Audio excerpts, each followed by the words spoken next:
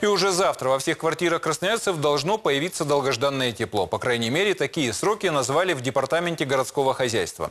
Заполнять системы начали еще на прошлой неделе. И тогда же потеплели батареи в детских садах, школах и больницах.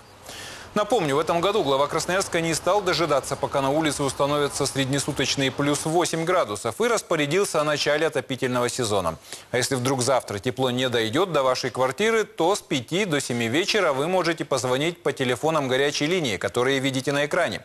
Отвечать будут руководители районных администраций.